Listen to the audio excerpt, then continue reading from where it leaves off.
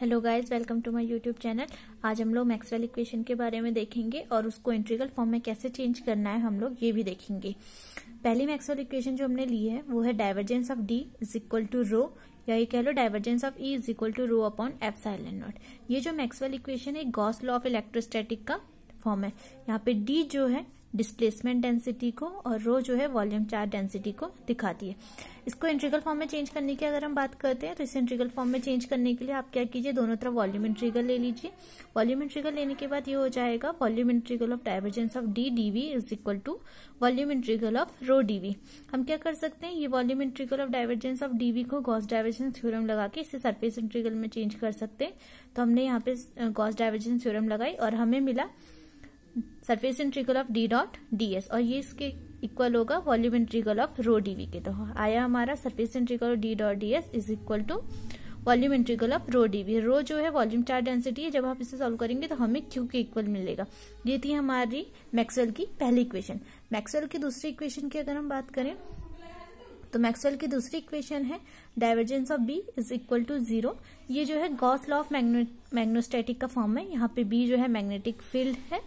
या इसे magnetic field density भी कह सकते हैं। मैं आपको एक चीज़ बताऊँ, यहाँ पे जो divergence of B is equal to zero का मतलब है कि आपने क्या करा, कोई सरफेस है, इस सरफेस में आपने यहाँ से जितनी मैग्नेटिक फ़ील्ड लाइन पास करी, उतनी ही यहाँ से क्या होती है, हमारी इमर्ज आउट होती है।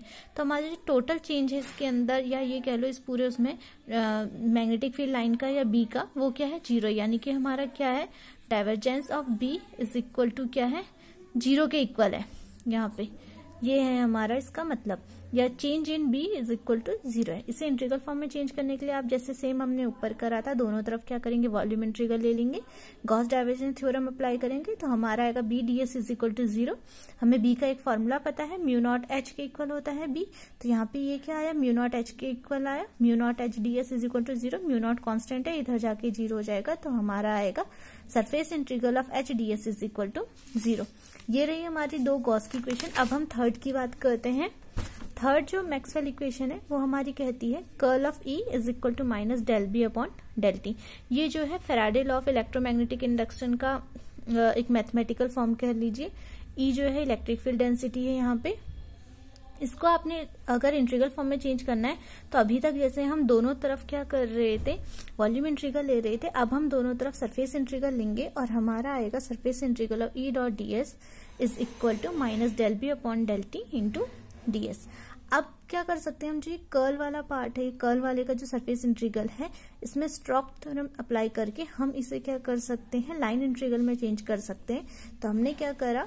द लेफ़्ट हैंड साइड में स्ट्रोक थ्योरम लगाई और ये आया हमारा line integral E dot DL इससे हमारा बना line integral E dot DL is equal to ये जो यहाँ पर पार्शियल इंटीग्रेशन है, ये हम इंटीग्रेशन सॉरी पार्शियल डेरिवेटिव है। पार्शियल डेरिवेटिव को इंटीग्रेशन से बाहर ले लेंगे तो हमारा आएगा minus del over del T surface integral of B dot D S ये रही हमारी मैक्सवेल की थर्ड इक्वेशन फोर्थ इक्वेशन जो है हमारा एक्चुअल में एम्पियर सर्किटल लॉ की मॉडिफाइड फॉर्म है। यहाँ पे जो ये कैपिटल एच है, यहाँ पे ये कैपिटल एच होना था।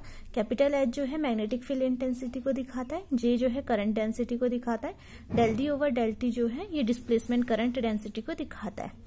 इसके इंट्रीगल फॉर्म में चेंज करने के लिए सेम ऊपर की तरह हम दोनों तरफ़ क्या करेंगे? सरफेस इंट्रीगल ले लेंगे। सरफेस इंट्रीगल लेने के बाद स्ट्रोक थ्योरम अप्लाई करेंगे। स्ट्रोक थ्योरम अप्लाई करने के बाद हमारे पास आएगा line integral of H dot D L is equal to surface integral of J plus del D over del T into DS अब आप बी का फॉर्मूला लगा दीजिए म्यू नॉट एच तो हमारा एच जो है बी में चेंज हो जाएगा B over mu naught mu naught इधर हमारा लेफ़्ट हैंड साइड से राइट हैंड साइड में जाएगा तो ये बनेगा हमारा line integral B dot D L is equal to mu naught surface integral of J plus del D over del T into DS ये थी हमारी मैक्सवेल की चार इक्वेशन अगली वीडियो में हम लोग एक नए टॉपिक के संग मिलेंगे.